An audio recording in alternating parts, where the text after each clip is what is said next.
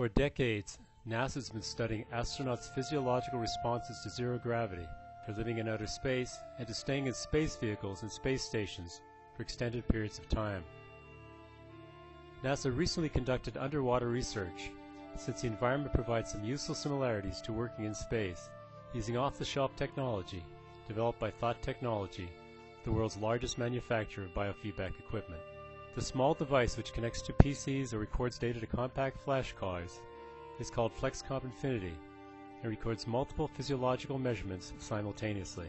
The astronauts, Commander Dave Williams, a Canadian physician, and Ron Garan, an American, wore the gear throughout the day while living in a National Oceanic and Atmospheric Administration undersea habitat off the shore of Key Largo, Florida, 65 feet below the surface. NASA researcher William Toscano describes the mission. Our project was called NEEMO 9 it was 22 days long, with two astronauts participating. They wore the FlexComp Infiniti system for three of the mission days. What we were looking for was the effect of isolation, workload, and fatigue on the individuals.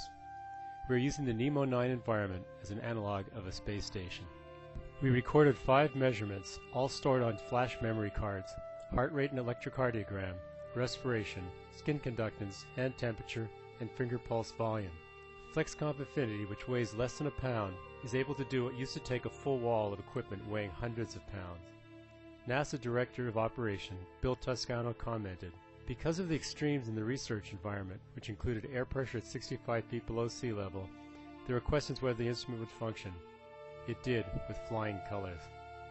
For more information on Thought Technologies' wide range of biofeedback, neurofeedback, and data acquisition products, visit us at thoughttechnology.com.